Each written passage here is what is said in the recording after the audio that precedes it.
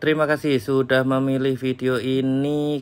Kali ini kita akan sharing-sharing lagi, diskusi lagi tentang ban, tetapi pada video ini kita spesifik pada dopwell. Ya, sisi tengah dari velg ini, lingkaran ini, ini disebutnya dop velg atau dopwell atau dop saja. Itu biasa digunakan nama tersebut di pasaran teman-teman. Dan ini fungsinya bukan aksesoris saja, kita akan bahas nanti ini untuk R3 ini velg 15 ini dobelnya walaupun terlihat seperti logam tapi ini sebenarnya plastik teman-teman. Ini untuk Chevrolet ini juga ada dobelnya. Itu yang terpasang velg aftermarket pun juga ada dobelnya teman-teman. Ya dobel ini kalau misalnya terlepas pecah atau hilang bahkan itu silahkan teman-teman ganti. Karena dobel ini juga e, bisa kita beli terpisah seperti ini teman-teman. Jadi misalnya dobel pecah hilang atau pengen ganti merek ini misalnya punyanya Chevrolet kita ganti punyanya Toyota nanti ini bisa-bisa saja. Jadi lebih matching kalau misalnya mobil kita uh, pengen penampakan lain ini bisa diganti. Ini ukurannya berbeda. Kalau untuk R3 nanti kita ukur teman-teman. Yang tersedia ukuran berapa saja. Termasuk velg ini aftermarket ini dobelnya ada yang dijual enggak ya? Karena ini dobelnya besar sekali nih teman-teman. Ini bentuknya juga khusus ukurannya juga khusus. Nanti kita cek di pasaran apakah ada kalau hilang atau tidak. Tapi setidaknya untuk velg-velg racing yang pabrikan harus ada. Ini dia teman-teman. Nah ini adalah salah satu efek kalau dopwell tidak terpasang. Jadi bearing ini bearing roda ini. Kalau dopwellnya misalnya ini lepas bearing roda ini kena air kena lumpur kena tanah kena debu ini bisa hancur duluan teman-teman. Jadi harus dipasang dan juga kalaupun terpasang nanti teman-teman juga harus cek. Jangan sampai juga kotoran yang sudah ada di dalam menjadi kerak malah membuat kerusakan lebih parah pada bearing rodanya. Ini sisi kanan kita cek juga nih. Nah ini teman-teman. Berkarat mungkin ini mobil ini dulunya dobelnya tidak ada dan greasingnya buruk.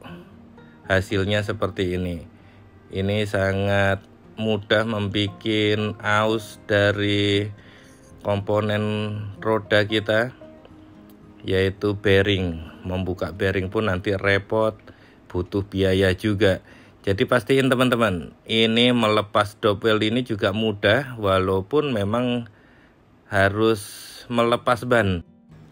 Karena kalau kita lepas dalam kondisi ban masih terpasang misalnya seperti ini ini presisi teman-teman. Kalau ukurannya pas presisi. Kalaupun dicungkil nanti ininya jadi rusak.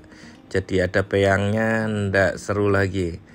Untuk membukanya ini kalaupun teman-teman tenaga kurang tangan lagi sakit bisa saja pakai alat bantu ditekan saja sisi tengah dop ini teman-teman. Nah itu. Itu tekan pasti lepas. Kalau misalnya dopnya masih normal. Kalau misalnya sudah dilem lem setan nah itu mungkin akan pecah. Ini dia teman-teman. Tekan saja seperti ini. Pakai tenaga sedikit sudah lepas. Ini dia dop. Walaupun penampakannya seperti logam dia sebenarnya bahannya adalah bahan plastik saja Suzuki dan Toyota. Ini Suzuki R3 kecil. Toyota ini saya pakai Toyota RAV besar dia teman-teman. Nah ini ada selisih mungkin setengah senti karena klipnya pun yang R3 lebih kecil. Oke ini ada meteran nanti kita ukur saja biar pasti ini Toyota punya Toyota ini pas 6 cm teman-teman. Ya 6 cm diameter. Jadi kalaupun mau beli pilihlah yang diameternya 6 cm sedangkan yang untuk Suzuki R3 ini lima setengah senti. Ya pas lima setengah senti. Biasanya memang ukurannya selisih-selisih setengah senti setiap ukuran upsize atau downsize itu tiap setengah senti. Jadi pastiin aja diukur di velg teman-teman lubangnya lubang berapa senti diameternya. Nih ini lima setengah senti bisa masuk tetapi kalau pakai yang 6 cm ini tidak bisa masuk teman-teman. Kalau dipaksa maka penguncinya kaitnya nanti akan patah. Jadi ya kita ukur dulu kalau mau beli misalnya sudah jelek penampakannya ini dia ini klipnya ada profilnya tapi ukurannya harus pas sebelum teman-teman menggantinya. Karena teman-teman kalau misalnya dop yang kita beli lebih kecil daripada lubangnya Walaupun terpasang dia tidak terpasang presisi. Nanti pengunciannya juga tidak sempurna Mudah lepas Mudah masuk air juga. Dan ini teman-teman Ini adalah velg aftermarket SSR Ini 15 inci Sama dengan punyanya R3 kalau secara ringnya. Tetapi dopnya besar nih teman-teman. Dopnya lebih besar dari R3 dan ternyata sama dengan punyanya Toyota yang 6 mm, diameter 6 cm ini jadi bisa ditukar kalau misalnya mau tinggal ditukar saja. Nih Suzuki dimakannya teman-teman. Yang lima setengah langsung dimakan. Karena bentuknya punyanya SSR ini dia lebih seperti mangkok lebih menonjol. Jadi diameternya ini bannya teman-teman. Padahal ini ban R15 sama dengan velg standar R3 tetapi dopnya beda ukurannya. Jadi ukuran dop tidak terkunci pada merek tidak terkunci pada besarnya ring velg. Tapi memang dop ini sesuai desainnya harus teman-teman ukur. Oke untuk memasangnya juga mudah tinggal tekan saja dari sisi luar seperti ini. Ini sudah langsung mengunci teman-teman. Sangat mudah.